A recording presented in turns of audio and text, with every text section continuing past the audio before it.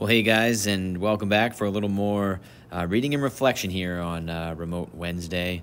Um, today, we're going to read from a familiar text. If you've taken Maine Fish and Wildlife, we're going to read from Aldo Leopold's Sand County Almanac, um, my my favorite book of all time, and this may just be my favorite short story from the book. Uh, you know, it brings back so many memories as a kid of uh, of uh, splitting wood and having wood heat at my house and thinking about where that heat comes from and uh, really thinking about um, how trees act as time capsules, you know, and, and we're going, we're studying dendrochronology right now, and it fits perfectly uh, with, with this uh, good story here, Good Oak from a Sand County Almanac. So follow along with me here. We'll read this, and then you guys will do a short reflection for me and be good to go. So, there are two spiritual dangers in not owning a farm. One is the danger of supposing that breakfast comes from the grocery, and the other that heat comes from the furnace. Right off the bat, Aldo coming in with a deep thought right there, right?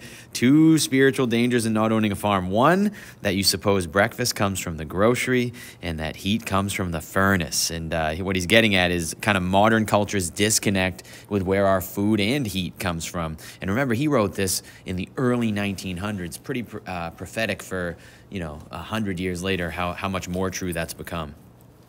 To avoid the first danger, one should plant a garden, preferably where there is no grocer to confuse the issue. To avoid the second, he should lay a split of good oak on the andirons, preferably where there is no furnace, and let it warm his shins while a February blizzard tosses the trees outside. If one has cut, split, hauled, and piled his own good oak, and let his mind work the while, he will remember much about where the heat comes from, and with a wealth of detail denied to those who spend the weekend in town astride a radiator. He's saying if you put in all that work, cutting and splitting and hauling that wood, uh, you get a much greater appreciation for your heat than uh, just sitting next to the radiator. The particular oak now aglow on my andirons grew on the bank of the old emigrant road where it climbs the sandhill. The stump, which I measured upon felling the tree, was a diameter of 30 inches. It shows 80 growth rings. Hence, the seedling from which it originated must have laid its first ring of wood in 1865 at the end of the Civil War. But I know from the history of present seedlings that no oak grows above the reach of rabbits without a decade or more of getting girdled each winter and re-sprouting during the following summer. Indeed, it is all too clear that every surviving oak is the product of either rabbit negligence or of rabbit scarcity. Someday, some patient botanist will draw a frequency curve of oak birth years and show that the curve humps every 10 years, each hump originating from a low in the 10 year rabbit cycle. A fauna and flora, by its very process of perpetual battle within and among species, achieve collective immortality. So what he's getting at there is he he counts 80 years of growth on his oak. He's dating it back to 1865, but he knows that this oak must be a little older than that because no tiny oaks in his area uh, get a free shot at growth. They all get chewed on by rabbits for a few years before they make it big enough uh, for the rabbits to leave them alone. It is likely then that a low in rabbits occurred in the middle 60s when my oak began to lay on annual rings, but that the acorn that produced it fell during the preceding decade when the covered wagons were still passing over my road into the great Northwest. It may have been the wash and wear of the emigrant traffic that barred this road bank and thus enabled this particular acorn to spread its first leaves to the sun. Only one acorn in a thousand ever grew large enough to fight rabbits. The rest were drowned at birth in the prairie sea. It is a warming thought that this one wasn't, and thus lived to garner 80 years of June sun. It is this sunlight that is now being released through the intervention of my axe and saw to warm my shack and my spirit through 80 gusts of blizzard. I am not going to lie to you. Every time I have a campfire in my yard with, with my kids and I burn, you know, some good oak that came right from my backyard, I can't help but think about 80 years of June sun, that warmth we feel hitting us, uh, just being that sun's warmth stored in that wood for a long period of time. And with each gust, a wisp of smoke from my chimney bears witness to whomsoever it may concern that the sun did not shine in vain. My dog does not care where the heat comes from, but he cares ardently that it come, and soon.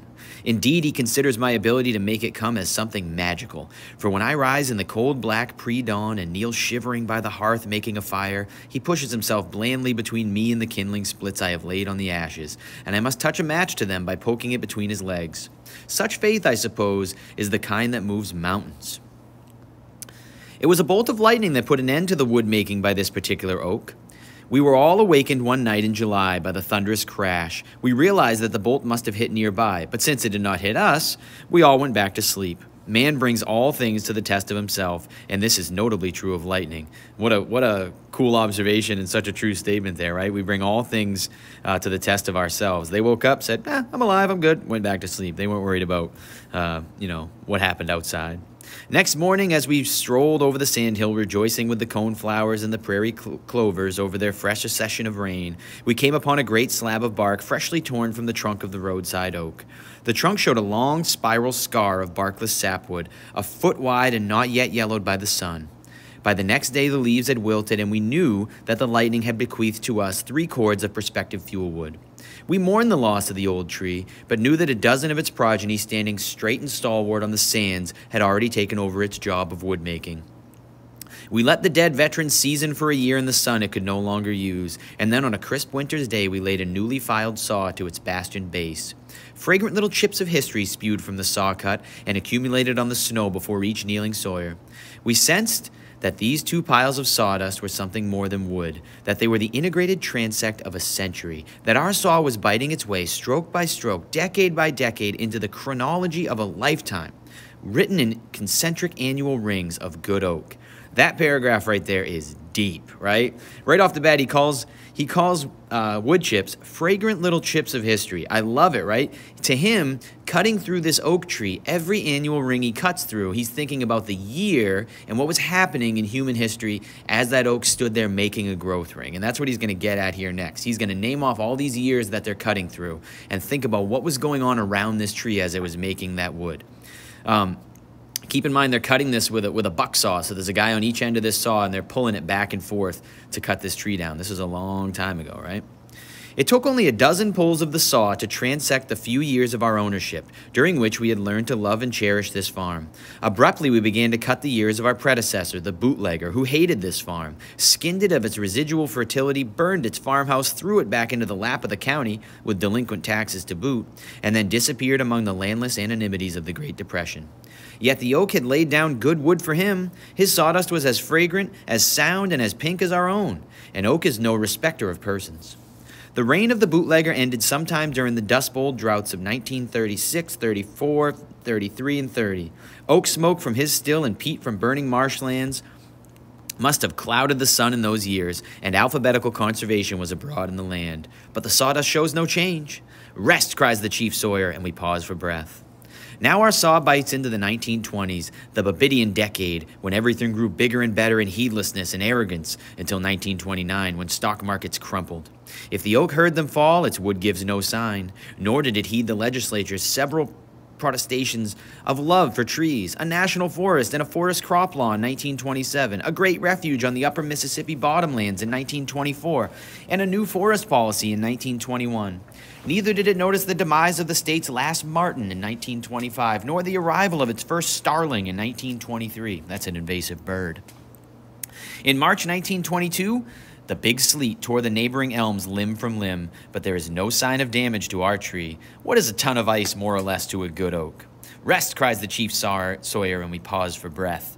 So, over and over again here, he's going to reiterate how all these things in conservation history are happening, but the oak takes no notice and just keeps doing its oak thing. And it's cool to think about that, right? Especially nowadays in the world we live in, how crazy it can feel and how wild it seems out there in our society.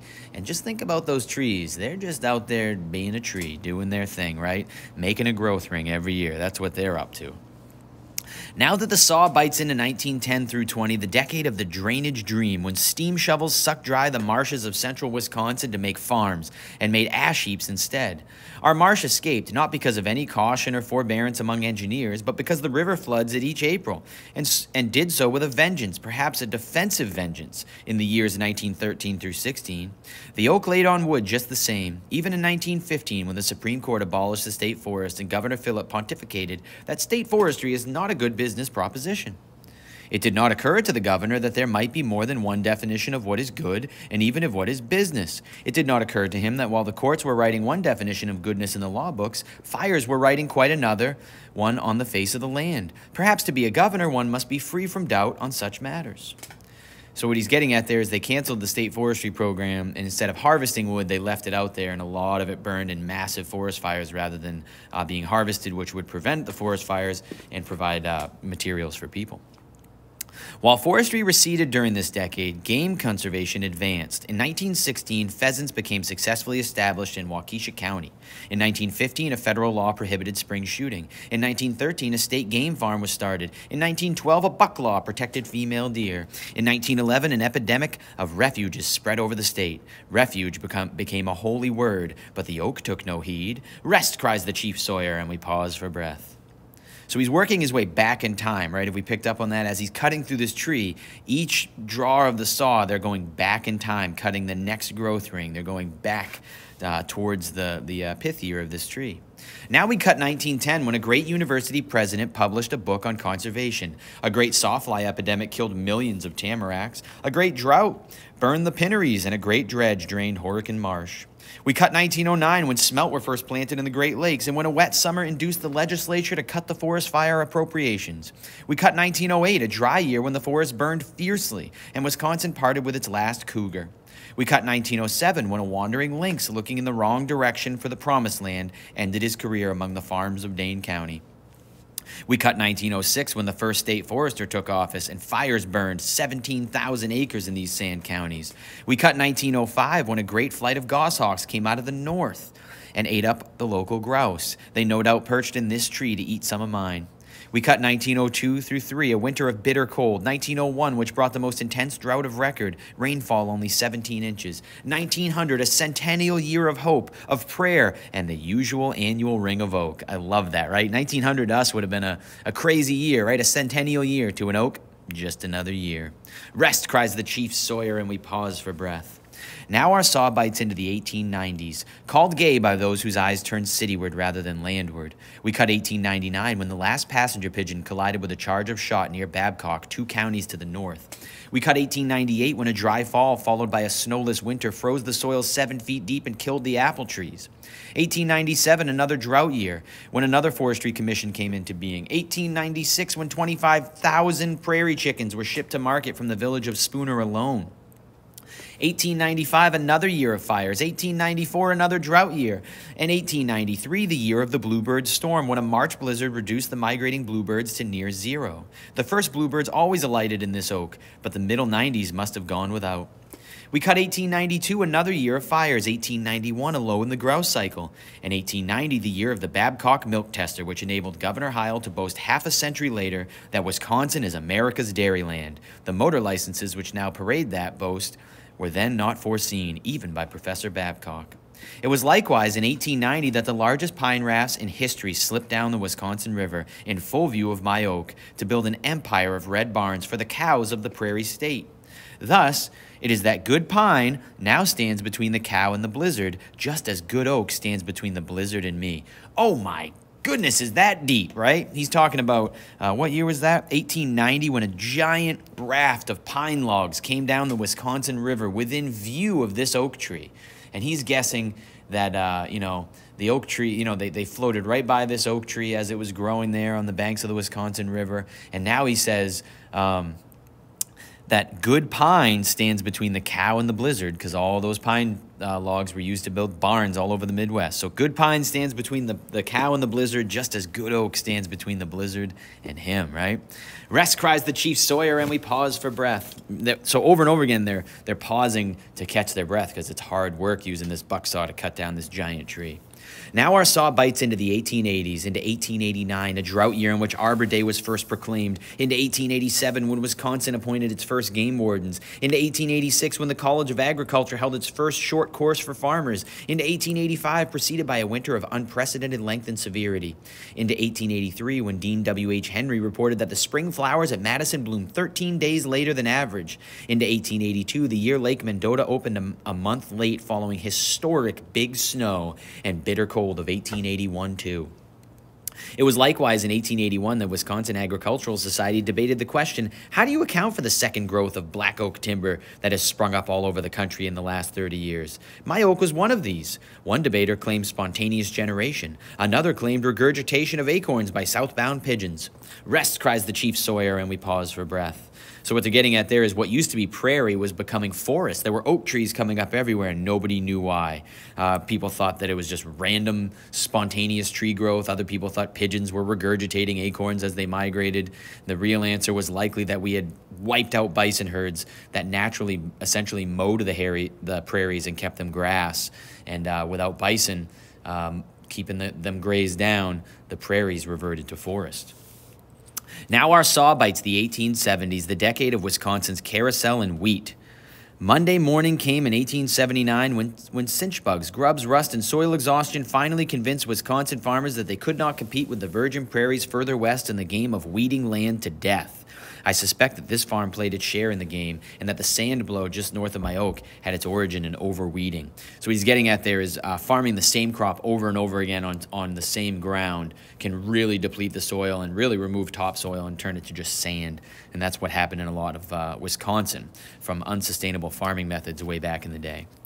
This same year of 1879 saw the first planting of carp in Wisconsin and also the first arrival of quackgrass as a stowaway from Europe.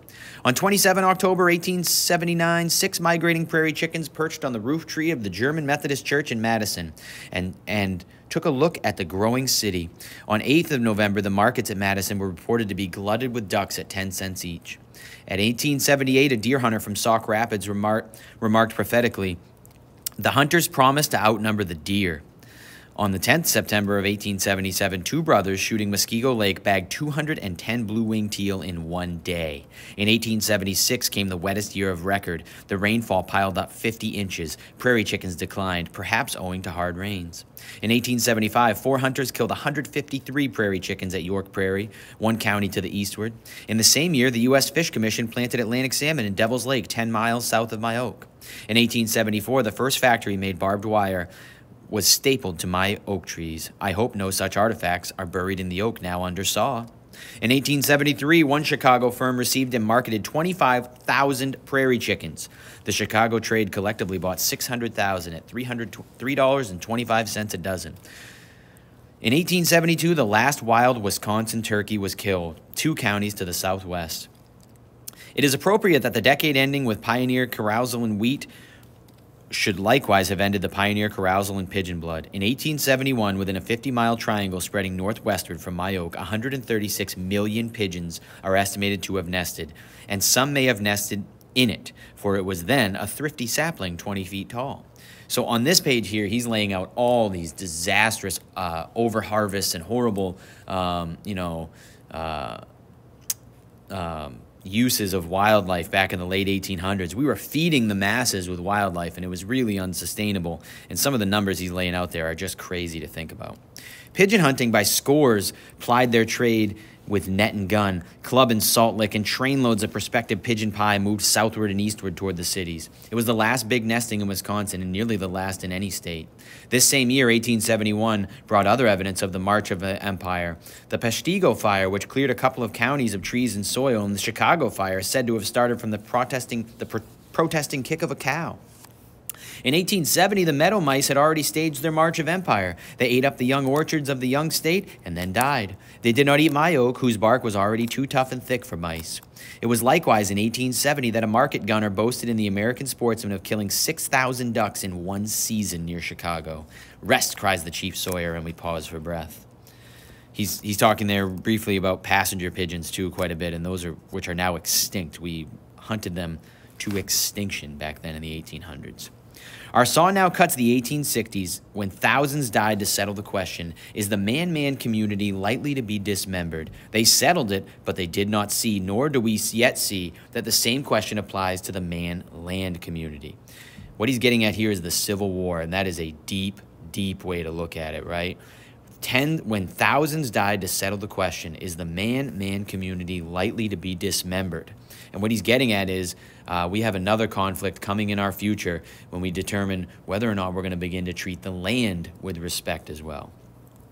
This decade was not without its gropings toward the larger issue. In 1867, Increase A. Lapham introduced the State Horticultural Society to offer prizes for forest plantations. In 1866, the last native Wisconsin elk was killed. The saw now severs 1865, the pith year of our oak. In that year, John Muir offered to buy from his brother, who then owned the home farm 30 miles east of My Oak, a sanctuary for the wildflowers that had gladdened his youth. His brother declined to part with the land, but he could not suppress the idea. In 1865, still stands in Wisconsin history as the birth year of mercy for things natural, wild, and free. We have cut the core. Our saw now reverses its orientation in history. We cut backward across the ears and outward toward the far side of the stump. At last, there is a tremor in the great trunk. The saw curve suddenly widens. The saw is quickly pulled as the sawyers spring backward to safety. All hands cry, Timber! My oak leans, groans, and crashes with earth shaking thunder to lie prostrate across the emigrant road that gave it birth. Now comes the job of making wood. The maul rings on steel wedges as the sections of trunk are upended one by one, only to fall apart in fragrant slabs to be corded by the roadside. There's an allegory for historians in the diverse functions of saw, wedge, and axe. The saw works only across the years, which it must deal with one by one in sequence. From each year, the raker teeth pull little chips of fact, which accumulate in the piles called sawdust by woodsmen and archives by historians. Both judge the character of uh, what lies within by the character of the samples thus made visible without. It is not until the transect is completed that the tree falls and the stump yields a collective view of a century. By its fall, the tree attests the unity of hodgepodge called history. So he's saying you got to use a saw across the grain of wood, and that's what reveals the growth rings. The wedge, this is what he's using to split the oak. The wedge, on the other hand, works only in radial splits. As such a split yields a collective view of all the years at once, or no view at all, depending on the skill with which the plane of the split is chosen. If in doubt, let the section season for a year until a crack develops. We talked about that in class, right? That crack will develop along a medullary ray, Many a hastily driven wedge lies rusting in the woods, embedded in unsplittable cross grain. The axe functions only at an angle diagonal to the ears and is only for the peripheral rings of recent past. Its special function is to lop limbs for which both saw and wedge are useless. The three tools are requisite to good oak and to good history. These things I ponder as the kettle sings and the good oak burns to red coals on white ashes. Those ashes, come spring, will return to the orchard at the foot of the sandhill. They will come back to me again, perhaps as red apples, or perhaps as a spirit of enterprise in some fat October squirrel, or for reasons unknown to himself, is bent on planting acorns. Oh man, I love that last bit there, right? He's talking about that carbon trapped in those ashes from his oak tree that he's going to spread back in his apple orchard, and how that carbon will likely be harnessed by nearby organisms or eventually make it back into the air and work its way back through the biota, back through the living realm just deep stuff. And if you've read from Aldo Leopold with me before, you know the guy is just a legend. Um, and if you're new to him, we'll read uh, quite a bit from him this year. This is definitely the longest of all the short stories we'll read, and I appreciate you following along with me through that story. It's just uh, good stuff. And I hope you never sit by a campfire or by your wood stove at home. Uh, ever again without thinking about those 80, 80 June, the warmth of 80 Junes, uh, you know, bathing you coming off of that wood, where that heat comes from, where, how that energy was stored by that tree harnessing the sun's energy, and the work that it takes to get that heat. Your job now is just take a few minutes to write me three to five sentences. Collins type three. I'm looking for sentences that flow together here. I want you to identify one conservation based lesson humans could take from this essay. There's a million in there. If you paw through there, you'll find a lot of different examples of really bad stuff people were doing. He's pointing out all along the way mistakes people made in conservation, whether it's overharvest of, of uh, you know, trees or wildlife constantly through there. Um, there's tons of different lessons to be learned. Identify one passage that relates to your own observations in Maine. How do you personally connect to this? How, you know, as we read through there, was there anything you were connecting with yourself, your own observations? And identify one way in which this passage changed the way you look at the Maine woods. Come up with three things for me, three to five sentences there, a short little paragraph, and you're good to go. I appreciate you following along with me as we read and uh, doing your work today, and I look forward to seeing you guys in class next time.